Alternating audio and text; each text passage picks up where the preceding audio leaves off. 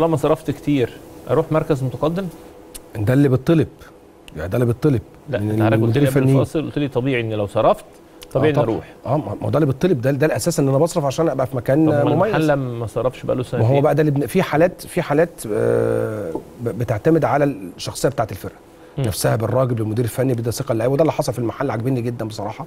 بيلعبوا كرة على الأرض مش خايفين آه، مش خايفين من أي فرق. عندهم لعيبة عندها خبرات لأن ده حتى التدعيمات اللي جابها جاب محمد جابل جاب زيكو طور في أداء بعض اللعيبة.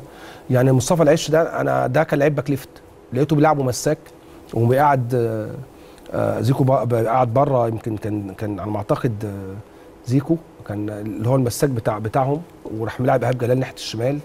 وراح ملاعب آه، معاذ الحناوي و... وادى لأكتر لعيب عنده مهارة في الملعب فوافي بدأ بفوافي.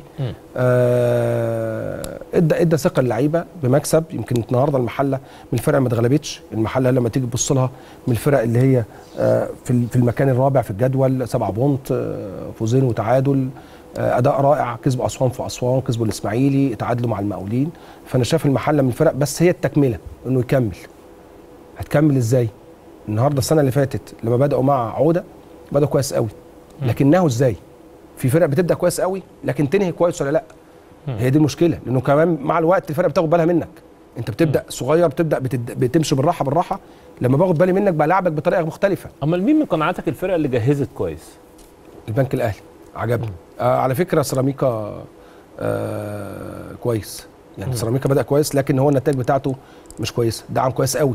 مم. النهارده سيراميكا من أكتر الفرق اللي صرفت وجابت بدليل انت ايبوكا مع أحمد ياسر ريان مع حوالي أربع خمس لعيبة من من سموحة. آه فأنت النهارده عملت فرقه تقيلة لكن بدايتك كانت رائعة. نشوف بدايته مع النادي المصري. كانت بداية رائعة جدا وكسب النادي المصري. لكن النهارده بتتكلم على هزيمة من الزمالك وهزيمة تقيلة من البنك الأهلي. وبقول عليها تقيلة لأن البنك الأهلي كان كويس قوي كان ممكن النتيجه تبقى أكتر من وهزيمه تقيلة من الزمالك. ما لا أنا ما بص الزمالك لما تيجي تلعب الزمالك آه، الزمالك سهل إنه يكسب. يعني أنا شايف الزمالك الحالة بتاعته الفرقة لكن لما تلعب فرقة في مستواك وتغلب منها ثلاثة ولا أربعة ولا خمسة دي بتبقى كارثة بتبقى صعبة جدا. لكن الأهلي والزمالك لما بيكسب أي فرقة طبيعي إنه يكسب أي فرقة.